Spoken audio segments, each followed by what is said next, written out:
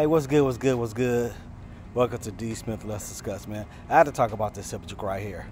Why do so many people hate Sexyy Red? What did she do? So we have this young lady going in on Sexyy Red. Check it out. I hate that bitch Sexyy Red. I promise you, I hate that girl. I hate her. I hate her. I wish somebody would make a diss record against her ass. I think I'm I'm about to write a diss. I don't like that bitch. I don't, I don't like her at all. Like she be single-handedly playing in y'all face. And I said to myself, who who the fuck is her fan base?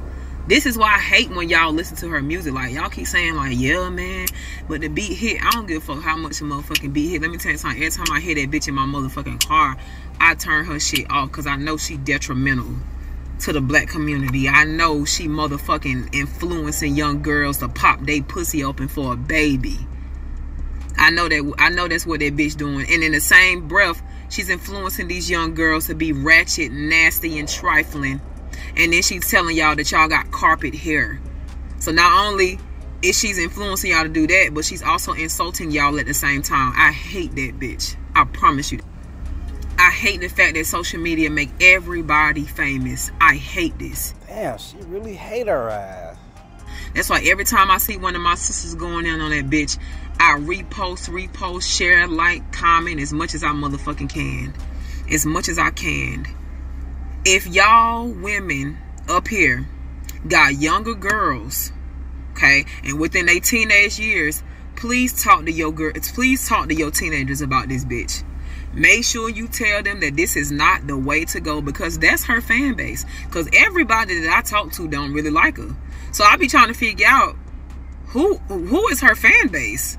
It's these younger girls. It's these younger girls with fan base. The young kids the younger girls and the record companies know it so they target them.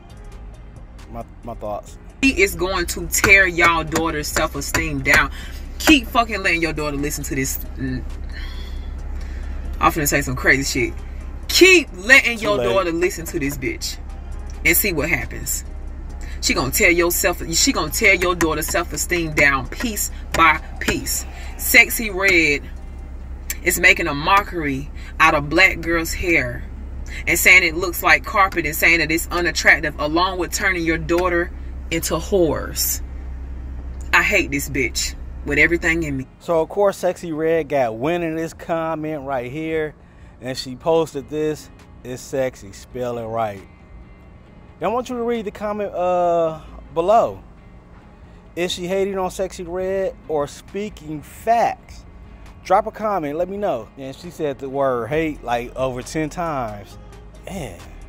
So lastly, what stood out to me, she's going to tear your daughter self-esteem down piece by piece. The lady went in. I don't listen to Sexyy Red music.